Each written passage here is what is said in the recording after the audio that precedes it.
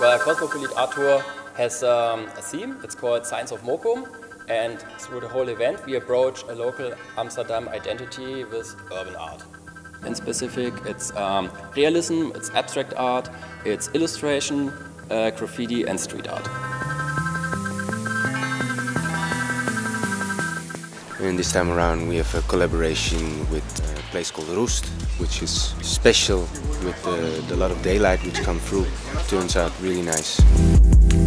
And we're really happy to have quite some international names like Vans the Omega and Matt Adnate from Australia. Uh, we have Skount, we have Heng from Marseille, we have Farm Prod, uh, Macru, Danzel from uh, Switzerland, and uh, some really local Amsterdam heroes like of course Juice and uh, Ottograph and uh, we have Tiffs and Soten from Denmark. There's too much to mention. It's a really, really a good lineup we have this year and we're really proud of that.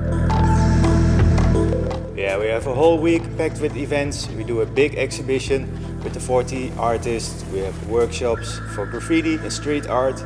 We do light painting. We do a podium discussion with the street art experts and uh, we have uh, the paint club battle, uh, the Dutch finals. So there's a whole lot going on. We have uh, street art tours, an art market. It's been a fun week. Well, the festival turned out uh, really nice so far. Uh, exposition is very diverse. so yeah, we're quite pleased so far.